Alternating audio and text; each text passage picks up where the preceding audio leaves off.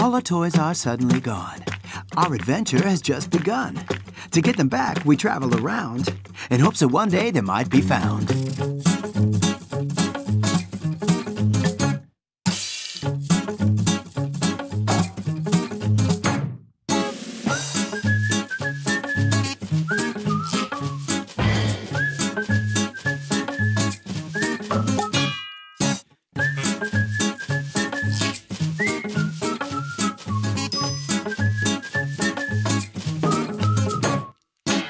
Toy Seekers. Episode 8 Big City Music. The great adventure of the Roundy family continues. Got you, Bubble! Mr. Roundy exclaimed when the big pink patch appeared on the map. Where are we now, Dad? Otto was excited.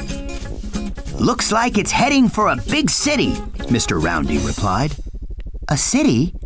How big is that? Emma asked. It's so big that millions live there, dear, Mom answered. Dad continued. Let me tell you a bit more about cities. Lots of people live there indeed, and there are buses, metro lines, taxis, as well as small and huge buildings alike. There are many nice and interesting places to visit, like museums, green parks with squirrels running around, royal palaces, or Ferris wheels offering a great view over the city, Mr. Roundy explained while he was landing the four wheeled flying boat. Right after his parents, Otto jumped out of the Wonder vehicle, then Emma followed him, and finally Snoozy got out too, sleepy as usual.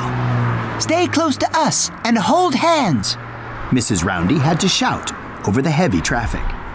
In the city, we have to be very careful not to lose each other, she added. Look, Snoozy, what a nice car. Otto nudged Snoozy as the vehicle passed by. Please stop, Mom warned her children at a pedestrian crossing. When there are traffic lights, you must wait for the walk signal to cross the street. Even then, you must always have a good look all around before you step on the road to see if anything is coming. According to our map, the bubble is in the city center. Let's catch it then and get my drumsticks back, Otto exclaimed. And he looked into the spyglass. I will find it. Hmm. I can't see any drumsticks. But there is a huge crowd at the fountain, Otto told his family excitedly. What are we waiting for? Let's go and see if we can find it, Emma urged the others, and so the toy seekers went to explore the city.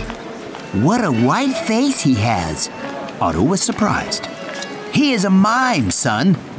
He imitates touching invisible things. He's really talented, Dad said. Wow! And there are performers too, Emma exclaimed. Bob, Dad, can you see it? That boy has my drumsticks. Otto was jumping for joy. Hello, those drumsticks are mine, and I want them back right now. Otto was rude. Hey there, little fella. I'm sorry, but I can't give them back to you. You see, I found them, so they're mine, the musician replied. May I have my drumsticks back, please? Otto begged him. You know what? Let's give it a try. Follow the rhythm and prove that you deserve the drumsticks, the boy explained. I'll beat out a rhythm, and you have to repeat it after me. What do you think? That's a great idea, Mom said, and she looked at Otto. Listen very carefully then. I'll begin, the musician said.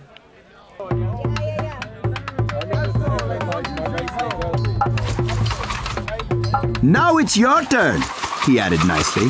Just listen and be amazed, Otto replied as he held the drumsticks and began to repeat the rhythm.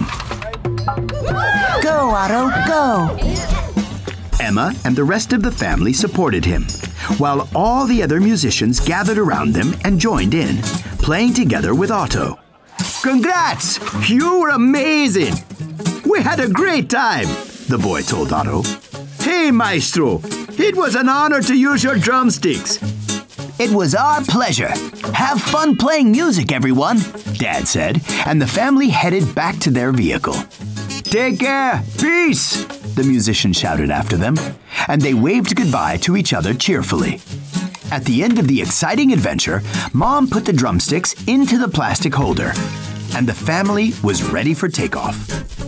This was a real musical adventure, the whole family said together when the Wonder Vehicle took off and they continued their quest to get their lost toys back. Cities are exciting and really big, with lots of people and heavy traffic. Watch out for cars. Take care of yourself too. A great adventure is waiting for you.